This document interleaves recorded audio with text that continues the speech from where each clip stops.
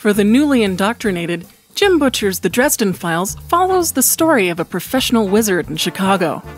The first book, Storm Front, was published in 2000, and the series now boasts 17 novels, plus a combined 36 short stories, comics, and graphic novels to help flesh out the world. On top of that, The Dresden Files has also produced a television series, card games, and a TTRPG. With all that content, and a ballpark estimate of six coming novels, we've started our podcast as a way to break down the series' most important moments, characters, and lore. Add theories, ramblings, and outside sources, and you've got the number one Dresden podcast for all your interests. This is McAnally's Dresden Files Pubcast by Free Flow Rambling. Conjure by it at your own risk. Welcome to our second episode, Green Eyes and Broken Hearts, brought to you by Free Flow Rambling. My name is Tansenn, and I'm joined by my co hosts Maggie and Jess. We're going to talk to you today about Jim Butcher's Storm Front's, chapters 2 and 3.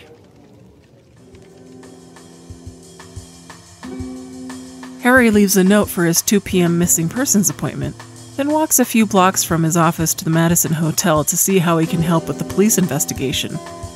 We meet Lieutenant Karrin Murphy, with whom Harry has worked before, and discover that a call girl and a mafia enforcer have been murdered horribly, and by no means could be achieved other than by magic. Harry is mortified, not simply in the humanity of the situation way, but doubly so that someone could have perverted the use of magic in this way.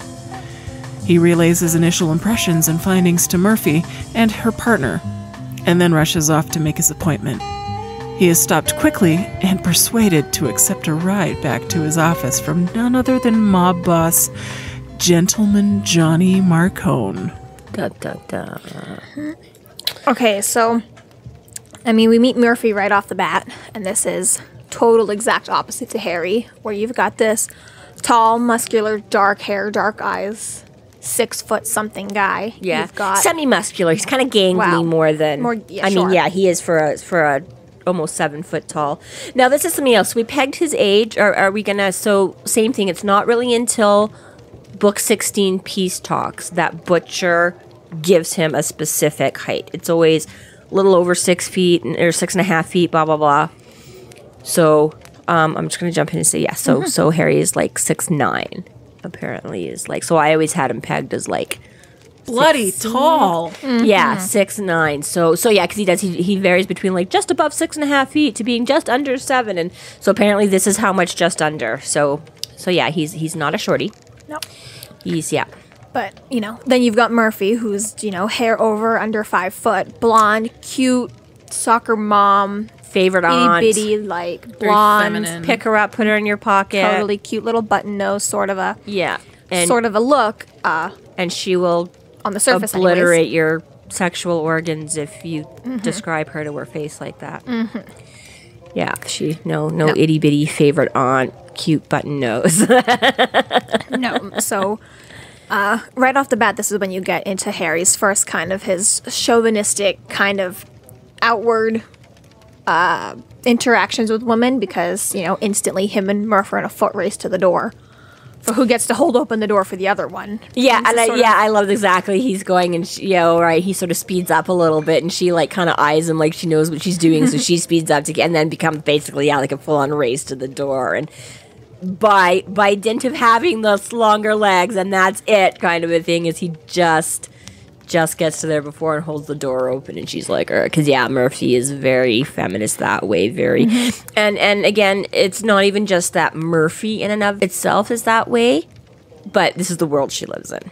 Yeah, sorry. She's had to fight her whole way to the top and she's not about to give an inch. Yeah, Anywhere. she's yeah, she is a small, delicate female in a cop's world, in a boys' club, in a man's man. And so yeah, exactly right. She she sort of whether she would want to be or not is completely irrelevant. She's like that's just not going to fly because the guys right like to be taken seriously and to earn her position, she cannot for a second ever be seen as anything less than than being right on par with the man's man. I think there's a reason that that uh, Jim Butcher chose to have such a, a drastic just juxtaposition between these two characters. I mean, I think for exactly that reason, the drastic juxtaposition. Me you know? too. Yeah, I think exactly just for the the contrast that it serves between Harry and and Murphy and and everything a little bit in Harry's world is oversized as you know we'll come to and, Or in this case, undersized. well but that's but this is but this is what I mean right like like Harry's bubble is right so Murphy is very right she is exactly that exact opposite and to- there's a point, and, and too- in extreme Yeah, and there's a point too where Murphy is very much like. I mean, this is where you kind of see both Harry and Murphy at their bests. You know, is constantly at heads with each other, but also Murph is a lot more serious and rigid, and you have to stick to the rules. And there's a way of doing things, and Harry is a lot more like, "Fuck you, I'm gonna do it my own way." a little bit the ends justify the I know I like, have sometimes. rules, but I kind of want to break them. How do I break these Well, rules? Well yeah, kind of like you know, like he is his own. He he marches to the beat of his own drum. So he's like, well, in the same way that you know, like the president can't ever break the law because the president is the president. Anything he does is lawful. Harry can never exactly go against his own rules because anything he ever does is falling within the rights of Harry. Whereas Murphy's a lot more like, no. Till I it comes follow to the police code. I 51. follow. Well, Yeah. sure. but um, exactly. But then Harry or Murphy is a lot more like, no, like I follow the rules and the laws. yeah, and she the codes that have ascribes been to a set of externally imposed exactly. that She's have like, been here for life. I'm a cop. These are exactly the the oaths, the pledges, the Yeah. rules. I don't break out on my whatever. own. Yeah, she's like, I can't just you know You know, phone no book rhyme or someone reason. because I want to, right? Like, yeah, exactly. So she's she's very much for upholding the law as the law is as it is set out, Mm-hmm. and and I mean, you know, maybe like the very slight within sort of the interpretation of it, but There's a point where Murphy, she's not an idiot. yeah, yeah, yeah. She She's is gonna like you say, job. she's her own person. She does her own, but but exactly, basically, She's not a mindless robot, but not a mindless Murphy's robot, moral but- code is much more what is the law laid. is the yeah, law. yeah. The law is the law. At the same so- time, she definitely has an open mind because otherwise she wouldn't have been dealing with Harry Dresden in the first place. which is a huge, you know, nod to her head and the SIs in general, which is totally like you've Yeah. got to be open to. And, and yes, she that- does, but she was also sort of pushed into it a little bit because SI is where they send everybody they want to get rid of and who they don't think is right because it's a difficult. Um, because S- SI is, is, is where you deal with all the stuff that doesn't fit neatly into the reports, as Harry puts it, and and cannot be easily explained. So, yeah, Tendon. I, without being too much spoilers, because I, I don't know too many of the side stories yet, um, is how does it say how she ends up getting into the SI? Uh, yes. But not in not for I yeah it's it, it doesn't come up specifically in this book or any of the first few books um is it only in a in a side story that it tells us Well, I, I, it's hard to place exactly when it happens, but I mean, as you'll Yeah, learn I later, don't I, mean, she was more. Her father was part of the original SI, which was then known as the Black Cats. So Murphy was already had a legacy to SI Yeah. in a way. which we don't discover until like book seven that Yeah, which is much later when you even get that sorry, book insight. six that's mentioned But um, and then you know even in Restoration of Faith, you know she hasn't made it to SI yet. She's still the regular. she's beat still cop, just so yeah brand new beat cop kind of deal and has been established in that fan timeline. Uh, it- there's a three year difference between uh, when Harry and Murphy first meet, and she's a beat cop, and Harry is lieutenant of SI. So Karrin harry's you never you know that there's at least something in there those three years, but it's, it won't be mentioned for a little while what exactly got her yeah. moved and is, is that only because that seems like a pretty big jump from three years to be cop to lieutenant? Uh, it if it's not three, it's less. Well, that's just a testament to how hard she works. Well, it, it, it is. yeah. It definitely is. Yeah, definitely is a testament to her. So I, yeah, I think the way I viewed it is, it's a little bit. You have to wonder: is is, is there a little bit of a nod to like predestination there, kind of a thing? Um, you know, like, oh, is it coincidence that your dad ended up working and now, you know, is it one of those things that uh, is kind of bound to happen because it's in your DNA somewhere that you were just going to get the short end of the stick with this DNA, you know? Or exactly, is it the fact that, you know, somewhere up in the higher brass is like, oh, that's another Murphy, let's stick her in the same thing. But, but yeah, it's, it's, it's a little bit, it's it's it's sort of as far as the police hierarchy goes, she gets shunted over to SI as a little bit of, of a dig, a little bit of a punishment, a little bit of a um um oh, what's the word I'm looking for? Punishment for being too honest. No, I was gonna say um, more like a dig at her, like an embarrassment for like to sort of, but um, take her down a peg or whatever. Um, but Murphy is like, hey, fuck you, you're gonna give me this disadvantage. I'm gonna turn it into an advantage, and that's very much Murphy, right? So both her as her personality and her in this world, because she knows to succeed as a cop exactly that she's got to work twice as hard as any of the guys or whatever, right? So exactly. So they they shunted her over here, figuring she'd be like, "What the fuck do I do with this?" and you know, quit or or screw up and get fired like everybody else that that goes through there. Like that's basically where they send people to to die and you know Grind the spirit out of them. yeah, yeah, yeah, grind them down and make them quit and that. And she's like, "No, fuck you. You're gonna put me. I am gonna be the best damn." Right, and that's that's where Harry says too, you know. So so she goes out and hires the only fucking wizard. Like you're like it's all paranormal shit. But they can't call it paranormal shit because they're the cops, and paranormal shit doesn't exist. Right, so it's like fairies are stealing babies and vampires are killing people, but nowhere in the reports can you say, well, a fairy stole a baby or this guy was killed by a vampire. So that's what SI is for to to, to fit it into real world situations, non paranormal, to make it fit inside the reports and the lines and the conformities, and still figure you know how to get this to court, how to get a conviction, how to how to wrap this up, right? So she hires the wizard, who's called their psychic, you know, because she's like, well, right, and then it's proven to work for her, so she's going to continue doing it right is is the other side of it right so yeah murphy's had a vague exposure that makes her kind of go Well, oh. and that's also part of the reason why she also mentions, I believe, even quite early on in the series, if not Storm Front, that she was just refusing to ask questions and or to stop asking questions. She was very pushy and very like. She, she was asking too many questions ultimately to the higher ups. Well, even before within don't the just SI accept- itself, Carmichael, even, even if you look at the side stories, Carmichael, i i who is also an SI, even tries to curb her from doing an honest report. Mm-hmm. He's much a Saying- non. non yeah, No, he's like, no. yeah, No, this just- isn't gonna. We can't tell them we got eaten by vampires. That's not a thing. Mm-hmm. and she's like, but they got eaten by vampires. Yeah, Exactly. So, anyways, so whatever. We end up at the hotel. Here's Murphy. Here's Harry.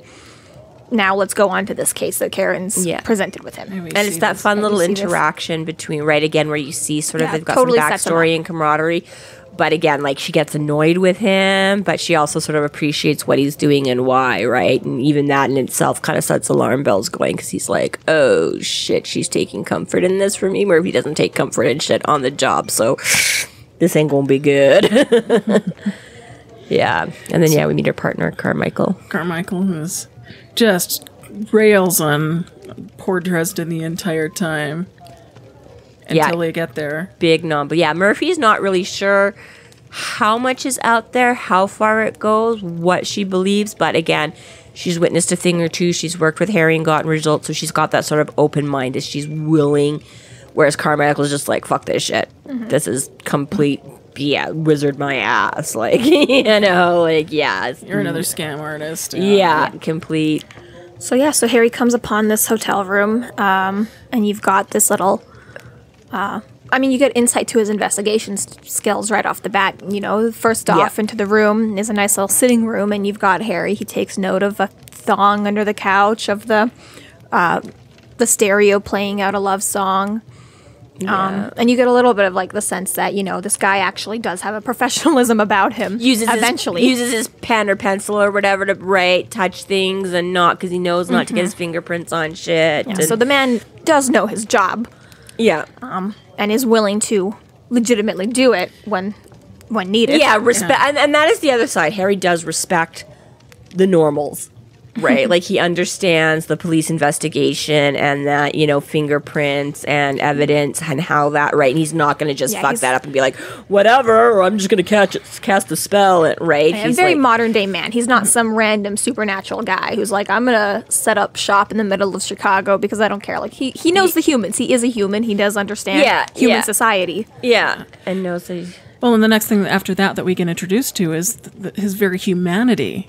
Yeah, be, Yes. by being absolutely horrified, but keeping that professionalism, but hearing this voice in his head that, as he as they put in the books, screaming because of this just vicious yeah. and brutal Yeah, murder. it's not a pretty scene. Yeah, and I, and I like that. That's another nice little interaction, right? Because he's like pointing out, you know, like the panties in the stereo, and Carmichael's all like, "Oh yeah, thanks, Rudy, got that." Like, some help you are like, no shit, Sherlock. Um, and then he's all like, you know, they're like, "Okay, Murphy's like, hey, come on, let's check out the actual right."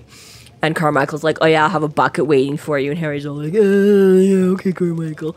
And then yeah, literally gets in the room and is like, "Oh fuck." I'm gonna need that bucket. I'm gonna need that, but yeah, basically, exactly, literally has to stop himself from like hurling the second he walks in, and yeah, slams the door on that gibbering, screaming part of his mind that is just like, yeah. So Right. So as uh, you brought up Tansenn, he walks into a horrifying scene. Uh, did you want to describe? Oh, they're uh, post uh, or, or they're mid coitus. they're mid coitus, yeah. coitus, and their their their chests are quite literally burst from the inside out. That, that there's a visceral evidence everywhere in the entire in the entire room. That the pieces of their hearts have turned into gelatinous Goo, goo that has been spewed all over the room. Romantic. right? Yeah, it's it's pretty horrific, and Harry is not here. Let's see. Yeah. So you've got this uh, again, as you said, mid coitus, gruesome, disgusting, uh, heart explode outward scene, uh, and Harry does eventually go for the bucket.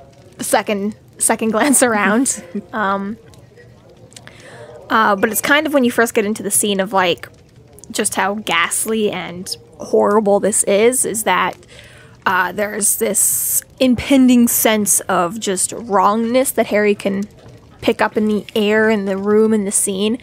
And that's kind of when you now start to get the other aspect of Harry and the magic is that it, it's more than just doing, and it's much more uh, mental and physical, both in the same time. It's a legitimate reaction that is, you know, it, it plays on his senses, it hurts him emotionally, mentally. It's just something that is very Well, and realizing what, that the that that the perversion of magic because it's the the life force that brings life or that brings magic into Creation of- reality yeah.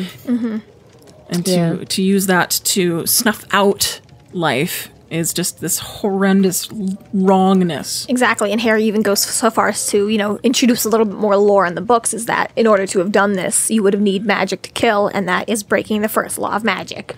Yeah, and it also mentions the the White Council for the first time, mm-hmm. and that there are laws to magic. Yes, exactly. Yeah, and they don't lay them all out yet, but there obviously are some which Harry has to abide by. Some sort of governance out there. yeah, some sort of governing body, and he's not really allowed to share it because you know um, they're okay with with being in the closet. They want to stay in the closet, and they're like, okay, we can't. Even though they try, they're like, we're not real happy with Harry being out there and flaunting it. But they're like, you don't have to out the rest of us. Like, we don't want that shit. We want to just stay. Yeah. Background, right? a and certain so point, if he you can't want- really mhm. talk about them and their, you know, the first rule of Wizards Club is you can't talk about Wizards Club. Exactly. yeah. And no muggles included. No, yeah, keep the muggles out. We're not. exactly. So to a point, it's like you want to appear like a kook to the world, fine, but you know, you leave us out of it, or we're really going to get involved, and you're not going to be happy about that. So there is a little bit of fear from Harry there, like, okay, no, like they don't like me. I really have to shut up. I cannot share this. Yeah, and we don't really know why there's there's an issue there between what that is, but yeah, she's basically just like, okay, solve this, do it, and he's like, I, I, I can't, like, I. No. Yeah, no. And that's one of the things I kind of like about the way the rules and stuff work in this. Like in the Potterverse, it's a little bit like whatever you can imagine and say will just will just happen, right? Like mm-hmm. you, you just conjure magic up out of nothing and make it happen. Whereas in Harry's world, that's not really how that works. One, there is, I mean, it still sort of follows the natural laws of the universe, right? So you cannot just you know, matter cannot be created and destroyed, right? Everything um, has Physics is still physics physics. is still physics. Everything has an equal and opposite reaction, and right. So he's like, yeah, you can figure out a way to summon up the fire, but when it gets here, it's going to act like fire. It's just going to do whatever fire does, right? So you may, you may get it here by a different means. Um, yeah, I was gonna say it's like a dual, uh, double-edged sword. Is that you know in some ways Harry Potter universe really you know backs itself into a hole because it's got Sure, yeah. uh, what is the word for it? Um, no plot. restrictions. no, like plot. What's that called when you ruin your own plot? Plot holes. It's Plot got like it's got plot hole after plot hole because like oh well like how come this thing solved in the last book you didn't use it in this book you know like Yeah, yeah, it's yeah. been established you know like the time turner can be used to go to like four different like potions classes at once but you can't just go back in time and stop Voldemort like you know like it's things like Yeah, that yeah, just yeah. never but on the other hand when you do have the rules in the Dresdenverse often then you're backing yourself into a corner because it's like oh, can't do that because I established last book you can't do that or oh can't do that because I so it's like both books kind of have that like you know the Harry Potter verse has infinite rules for what you can do to get out of it because there are no rules Yeah, but then the Dresden Files is like, no, there's so many rules that sometimes you just like, it's almost easier because then it's like, you don't have these plot holes, but then you have to work that much harder. but then you have to work within the the confines of what you've created. Exactly. Mm-hmm. Yeah, and and that's and- why he carries a gun. and now, right exactly um um oh curses i just but i was gonna say going back to like his his technology and stuff like that too right like that's one of those things where um it makes new and interesting ways because exactly he can't just hop on hop on the internet and look up what this is and what's going on or whatever right?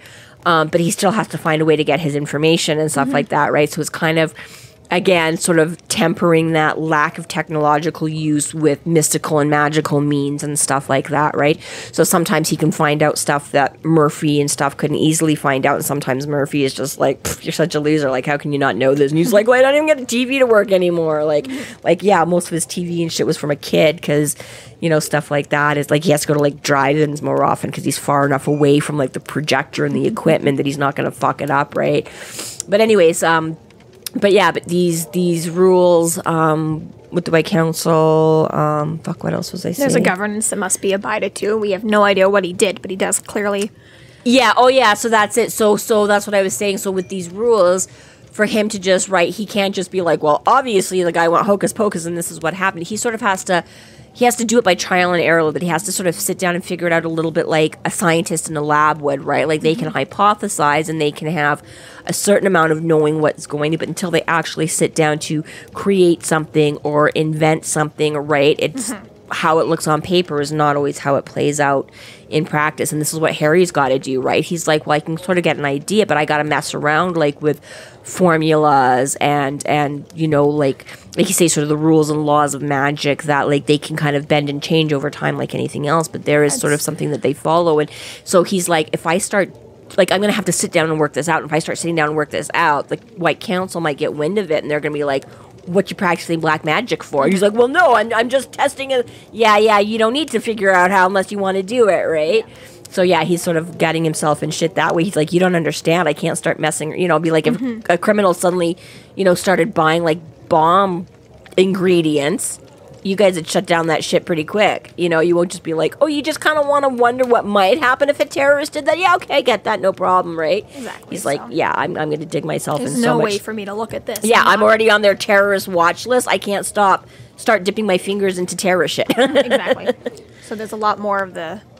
Well, there's a lot more. Just yeah, Harry's very Yeah, like- and he's yeah he can't explain You know? that he can't. T- you know, Murphy's like, well, just go do this shit, and he's like, I, I can't, but I can't tell you why, because exactly The catch 22 of the book the has been catch twenty two. established. Yes, totally exactly. So, which is again, as you said, catch twenty two. It kind of starts the distrust between like Harry and everyone in his life is often an inform- a problem to communicate because often Harry's backed into a corner about what he can and can't say to who. yeah, and, and sometimes that's by choice. Sometimes that's Harry, his protective streak, his chivalry, his whatever, being like, "Ooh, no, I, I don't want to. Mm, this is just bad. I The less don't. you know, I, I don't. Yeah. I, I don't want to point you down this rabbit hole. You might get somewhere you don't. And between like, well, I would tell you, but." I've got other things preventing Mm-hmm. me from, you know. So yeah, It's really the catch twenty two of the series. Yeah. it comes along. So, um, so yeah. So basically, now he's got this this terribly horrific, disgusting um, murder. That yeah, again, aside from just being a horrific murder, he's like, there's no other way. Like this had to be magic. What the fuck? This is bad. And now, how do I figure this out without fucking around with things I can't? And how do I help Murphy? And how do I keep her clear of it? Everything, which on top of it all leads to Harry at least being able to come up with the.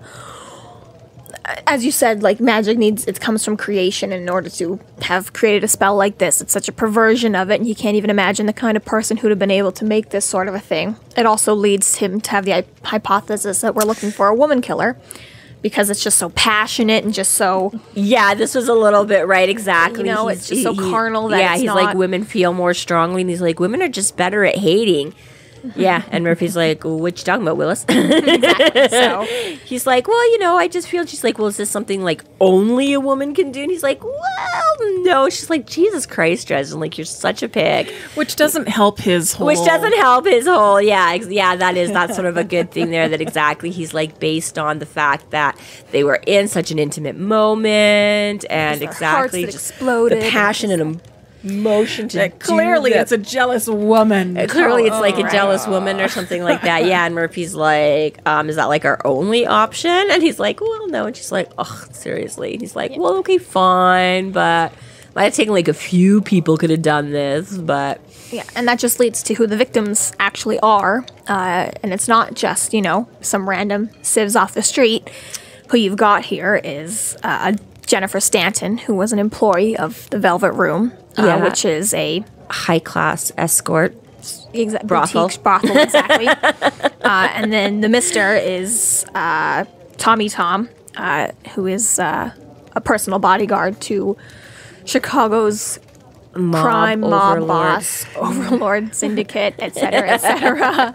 Uh, Johnny Marcone. Exactly. of Chicago. Yeah. Yeah. Uh, so So yeah, so we have a, a high price call girl and a and a mafia enforcer, and on top of you and know, that's just not good things to get. Yeah, and on top of the you know Tommy Tomm being to Johnny Marcone, aka mob boss extraordinaire of the city, you've got Jennifer Stanton, who is part of this uh, brothel, which is owned by Bianca. Who, as we will learn as the series progresses, is a red court vampire. Which just c- makes the politics of this whole murder just thick. yeah, Exactly. Harry's just like, oh, this just got ten times better. Things got- Great, thanks. Harry day one, and it doesn't really ever. Yeah, the water's never really clear I think from there. Jim does this just to sort of make sure that the the the, the reader doesn't have a way to sort of try to guess right away. Oh, it's this guy that did it. You know, Yeah, exactly. By, It's by like- introducing immediately the most complicated way that these people could be involved by And- weaving this really giant it's web. a total theme for Jim Butcher. You know, you've never just got a mob boss. You've never just got a vampire. You're gonna always have like 18 of the absolute worst situations coming at happening Harry, to Harry all at at once. once. So it's yeah, like, and Harry's it is just hard to follow. Like, seri- ooh, like I just need a nap. exactly. And every book is kind of like a race to be like, no, look, they all want to kill him. None of them are the good guys. The Yeah. only thing you're guessing at the end of the book is which one's gonna get there first. Yeah, yeah, no, for sure, definitely. They and that's again one of the things I like about them is is that they're they're well paced. They're kind of fast paced. They kind of jump in the action and go like you don't like like again. I, I I've seen reference to you know Harry Potter and stuff like that where you kind of have like some action and some stuff going on, and then it'll kind of calm down for like a chapter or two. Well. You know, admittedly, the twelve-year-old's trying to figure out what the fuck is going on, right? And then be like, "Oh, shit's happening," and then they're like, "Oh, okay, no, wait, what is?" Right? Whereas Harry's just like fucking full steam ahead, right? Yeah, like it's just suddenly he gets dunked in the deep end, baptism by fire, whatever. He's in there, and it's just go, go, go, and he does not have a lot of time to slow down and reflect and And certainly, yeah, Jim Butcher has said like each book is written with the intention of Harry's worst weekend of the year. yeah, uh, He tends to get his butt handed to him in several different kinds of ways It and is- spends the rest of the book very sore. Well, yeah, I mean, basically all the time that passes in between books, you get anywhere between you know like three and twelve months between books, and you've got like. It, it's kind of just assumed that you know, like poor boy was like in the hospital that whole time. yeah. Spent a chunk of it He's like- recovering. then You he know, had some each book starts out with like, "I only just stopped being bruised like a week ago." yeah, yeah. Then then he had some of his typical cases, like his his you know lost keys and yeah, they start throwing in short stories in you between know stuff like out. right but- you're like oh yeah sure some of his regular life happened in between and this is just yeah well, Harry tries to leave the uh, apartment to go make his appointment after that. hotel. He's yeah and uh, you know, lucky for him, someone meets him outside. Is none other than uh, lucky for him. gentleman Johnny Marcone, who kind of insists that he join him for a car ride back to his apartment. his office yeah yeah. Yeah he's like yeah exactly. He like takes off and sort of realizes after a moment he kind of feels like he's being followed and then notices like this car pull up or whatever. And yeah they're like here let's give you a ride. He's like no no i'm fine. They're like no really? Let me give you a ride. He's like okay so yeah so chapter three uh, so on the surface, Marcone doesn't look like an intimidating organized crime lord, uh, but he is just that and rules Chicagoland. Marcone wants to hire Harry to not investigate the murder at the Madison, offering Harry two full weeks of pay. Harry, of course, doesn't agree to that, and in his refusal of Marcone's offer, they lock eyes. Cue Soul Gaze. Harry initially thinks he's getting one up on Gentleman Johnny, but after the soul gaze is complete, he realizes that Marcone manipulated him and that Marcone got more out of it than Harry did. This rattles Harry. He does his best not to let it show how much is thrown him. Uh, Marcone backs off on his attempt to get Dresden to stay out of his business, and Harry is dropped off outside of his office building. So this is our our new introduction to our our anti. I what's the word. Sorry, Antagonist? antagonist. Thank you. Antagonist. Yes, yeah, yeah. So yeah, so we've got Harry, we've got Murph, who's an ally, and now we've got Gentleman Johnny Marcone, and we are going with the pronunciation Marcone because um, I looked up some crap with. I, I heard Butcher in an interview or whatever say Marcone. So this is what we're going with because initially I was one of the ones when when I when I heard Marsters said Marconi in the book and that worked fine for me. I pictured it how it's spelled and when I actually picked up a physical copy of the book I was like yeah that's Marconi to me and it just seemed to fit with the Johnny like the gentleman Johnny Marconi kind of yeah the whole Italian mobster whatever Yeah, yeah. um, and then after the third or fourth book in the the audio recordings, Marsters switches to Marcone, and at first I was like, "What? That's that's bullshit." What? um, so yeah, so I have yeah, so I was like, "Okay, how does Jim Butcher pronounce it?" So, assuming that Butcher will always pronounce it the way he wants it pronounced, and that he's not caving to peer pressure. I'm going to assume that it is meant to be Marcone, so we will call him Marcone. Right, and our our definite repeated description of Johnny Marcone is the green dollar. the cold Bills. faded faded dollar Yeah, bills the tiger green- soul. the tiger soul yeah and this is what they get out of the um the soul gaze so yeah so when they when they first go in um you know he introduces himself and that and i i, I think sort of harry's got it just already like um i don't think you know he, he he's never before in any of his cases or anything like that. He's never had interactions. He's never really crossed into Marcone's world before. But again, just being the sort of stuff that Harry does, being that he's um, involved in, in helping the police and being that he does private investigation and, and it's Chicago and, and this is his town. He just, he sort of has a general idea. He knows who Marcone is kind of a thing. Um, so yeah, so when he first kind of gets pulled over, he's like, "Oh shit!" I think, and then he's like, "Yeah, I'm John Marcone," and he's like, "Oh fuck me." um, so yeah, so but Harry also um, very adamantly states he doesn't like bullies and that. So Marcone's like, "Yeah, you don't you don't want to look into this. You're just gonna leave it alone." And Harry's like, "Fuck you, no!" Like, He's quite rash in the way that he deals with it. oh, he's Marcone ends up being this very rational and controlled Very calm, and methodical. calm, whereas as the the all of the reactions that Harry has are very guttural and fear and whatever he Reaction- he- just reactionary, yeah. instantaneous. yeah, he he doesn't like bullies and he doesn't really like authority figures. and Marcone is And not is- to mention that he's afraid, and he mentions straight and, and, and, and he, is afraid. Yeah, he's like, this is not good. I just got pulled over by the mobster and, you know, two or three of his cronies because, like you say, they, they tried to snake him outside the hotel and he just started booking it um, in order to, to make his appointment. So, um, so yeah, he's he's like not too comfy. He's now you know locked in the back of it, and it's funny because he he he likes to he rips he's he pokes some jabs at Ed Hendricks, who is a big football esque type player who's driving the car. Um, and he's like, "Hey Hendricks, you put your seatbelt on, right?" And Hendricks is kind of sneering at him in the rear view, like "fuck you." And then he's like, "Of course, I didn't put my seatbelt on because I want to be able to bail out of here at a second's notice, just in case I feel shit's going down." Um, but he's like, "It didn't stop me from giving him a hard time." So, um, so yeah, so he's kind of nervous, doesn't really know what's going on, and Marcone's just like, "Yeah, how like like what's your daily, you know, fee or whatever?" And he's like, like 12 1200 1250 yeah and then harry's just kind of like well fuck you that's not the way like one that's just not me anyways two he's like the police have already asked me to look into it so i have to look into it i can't just not like they've already hired me to do it right? Marcone's like are you sure? Because you could just you know pretend not or whatever and harry's like yeah no no and so marcone's like well and so yeah so then harry's like really john? I don't think i like and sort of you know looks around to look him dead in the eyes and thinking he's gonna, you know, freak Marcone out. And yeah, they they go into the soul gaze. So anytime a wizard locks eyes with someone, they they see you for who you really are, and you get to see them. And and this was one of the earliest um, snippets from the book, one of the audio clips that we had. So it was yeah, they get to see you the same way. Um, and boy, does it go ever wrong for him. Yeah, so Marcone's kind of scary. It's it's this this well ordered kind of barren, like a cold steel. Ref- you know what? Here, I am just going to read you the description of Marcone's soul because I can't really do it um, justice. It isn't the money, John. I told him. I lazily locked my eyes onto his. I just don't think it's going to work out.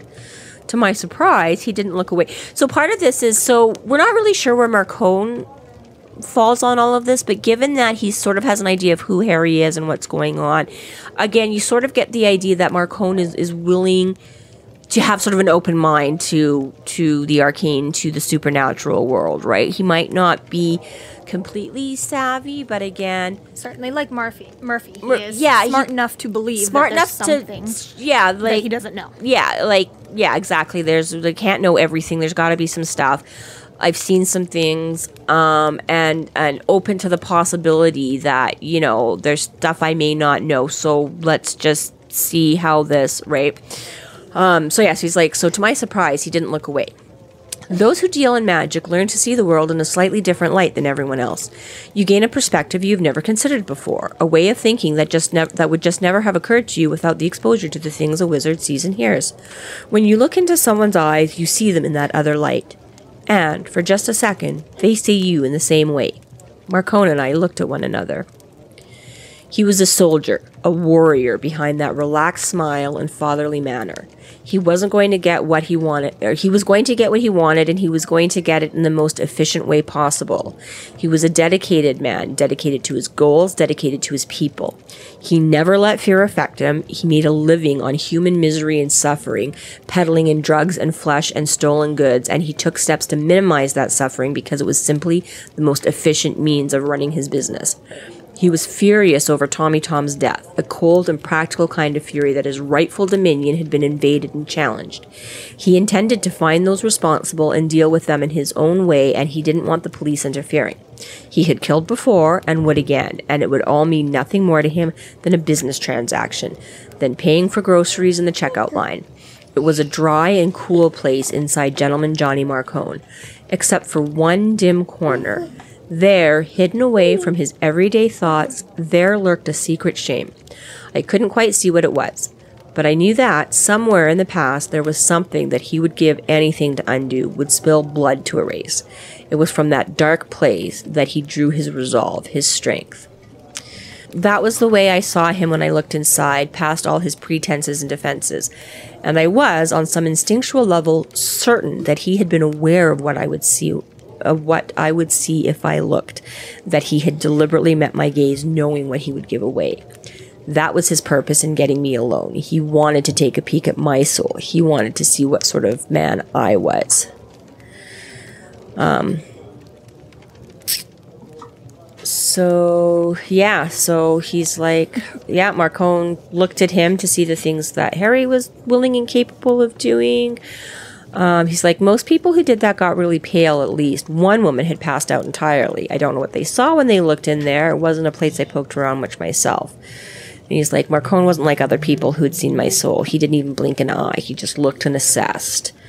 Um, and just a second later, so he's like, at first, um, I, Harry's like, he's like, first thing I felt was anger, anger at being manipulated, anger that he should presume to soul gaze upon me. Just a second later, I felt scared to death of this man. I had looked on his soul, and it had been as solid and barren as a stainless steel refrigerator. It was more than unsettling. He was strong inside, savage and merciless without being cruel. He had a tiger's soul. So yeah, so Harry's like, you don't want to mess around with this guy. Like he can, when he needs to be all business, he's all business. So don't mess with him stuff. Don't invade his things. Like this is his dominion. This is his property. This is his guy. But at the same time, he's just going to be very cold and calculated. Very, you know, um, meeting out what he feels is is suitable. Whether it's, you know, we're going to chop off a finger or we're gonna you know just to the cold calculation of what business needs. Yeah right? And and just that yeah he's like this isn't a police matter. I don't want you know the guy arrested. Right? He's like you took one of mine. I took one of yours. Like this is very um oh what's the untouchables Mm, yes. Right, right. You put one of ours in the hospital, we put one of yours in the morgue, you know. So yeah, this is yeah, Marcone is is very much of a checklist, his, sort of a follow. -Up. Yeah, so he's got his own code, and this is this is what we're doing. This is how we're doing it. All right, um, so I'd say that probably concludes our chapter three. yeah. Anything else you want to add, Jess, to Marcone? And well, again, this just sets up Marcone for the rest of the series too. It's that. Yeah this is another man, like much like Harry and Murphy. He is set in his ways. He has his own code, and he does not waver from that. Yeah. Set of belief and operations. Yeah, and I think this, when Harry sort of is like, "Oh, I realized sort of what was going on," is I think that says something else about, to me, anyways, how Marcone. Like, not that I necessarily would have noticed it like my first time around, but it was like, oh, again, this sort of indicates that that Marcone knows a little something about a little something because again, this soul gaze didn't seem to catch him completely yeah, off guard. Really phases so whether yeah, so part of that is just Marcone, I think, and like I say, his his unwillingness to to show reaction. To he's not going to give anything away by giving a reaction. But at the same time, when Harry's like, "Oh, I kind of feel like he did this on purpose," it's like we don't know that Marcone necessarily had any other soul gazes at any other time, but he might have heard enough, read enough, something somewhere that that he knew that this was a potential to happen. That if that if he met Harry's gaze, Harry being a wizard, that he might get some insight or whatever, right? right. So again, it lets you know that Marcone is like, yeah, I kind of, you know, is yeah, learning to has has been sort of somewhat exposed to the supernatural world and his arming himself as well as he's capable um, in regards to that as with anything and everything else he comes in contact right. with. So if it's business, he knows business. If it's politics, he knows politics. If it's crime, he knows crime. Like, oh shit, there's some supernatural. All right, what do I need to know? Let me let me learn about this supernatural. Oh, and that's it. That's actually one of my favorite interactions too, because Marcone is like, oh, they say you know things or whatever, right? And Harry's like, they also say I'm nutty as a fruitcake. You know, Marcone is like, mm, rather particular about which they I listen to, right? So again, yeah, very he, measured and very, planned. Very man. measured, planned. He mm. he takes in a lot and sorts through it. He doesn't just you know, go for the Google headlines. He's not like fake news. As Marcone does his research and he has people to look into stuff. And he does, yeah, again, right? Shit's going on. There's some supernatural. The wizard's involved. I'm going to get right in with the wizard and be like, yo, you're either for or against me kind of a here, right? So yeah, so Harry's got his plates full and then gets dumped out of the car in front of his building and he's he's just yeah, so he's shaken, he's rattled, he's like, This is a seriously scary dude. I can kinda see why he's come in and laid claim to Chicago and why he's in charge and nobody operates here without his say so. Um, and he's like, fuck, now I'm on his radar because he knows who I am and, and he knows about me. And he now tried he tried to pay me off, and I said no. Tried to pay me off, and I'm like, ain't gonna happen. So, so then he took a little a little looky loo, a little peek inside, and he's like, okay, now I really know who you are, Dresden. And Dresden's like, well, fuck, you're scary, and I don't really know what you saw in me, and um, I still have to go meet my my my appointment about this maybe missing husband, and fuck, I don't care about this right now because there's like death and murder and mayhem. So yeah. It's been established that Marcone is a very protective about his people. I don't know if you said it or not, like how he's very much about like these are my guys. I'm going to be the one to take charge here and Handle his own. exactly, you know, like it's not just about police interference that he doesn't want. It's also just about like I have a reputation here that needs to be maintained because it's also been established that Marcone uh, became the gang leader uh, roughly six months after Harry and Murphy met. So that's only been about two, two and a half years ago uh, before Storm Front is established. So he's very new. It's also, you know, it's said that he's done a hell of a job, you know, that even the cops have to kind of tip their hat to him and say, like, all right, this guy has, you know, he's a gangster and we don't condone crime, but at the same time, he's the lesser of evils because at the moment he's running a very regimented, you know, there's not killings in the streets over prostitutes or whatever, you know, it's like he owns all the prostitutes and all the drug dealers and all Right. of the middlemen, so there's no reason for there to be a gang war, turf war in that situation. So sure, crime is still going on, but there's a bit of a, an elegance to it that even the cops are like, you know what, we don't have the time to deal with this. There's enough going on that needs our attention. So you know, even Murphy and Harry both say throughout the books, like, we're coming for you one day, Marcone. You're lucky enough to not be high enough on our list yet. You're lucky enough to be doing your side of the job well enough, but they're like, but you're still a piece of shit, and we're still gonna, we're still gonna take you down one day. Don't forget that. Right. So it's a little bit of it. Marcone is like, listen, these are all my people. I own all of them, and if I'm going to maintain owning all of them, I'm going to fucking put the fear of God into any of them too. So tell you and your little wizard friends, you and your little cop friends, fuck off. I've got a reputation here that is much bigger than you and your dingy little office in SI. This concludes our episode, Green Eyes and Broken Hearts. Thank you for listening. You can check us out online at freeflowrambling.com and mccanallies.ca. There we have links to our other podcasts, social media, and other fun tidbits. Tune in for our next episode where we cover chapters 4 through 6. We are Free Flow Rambling. Conjure by it at your own risk.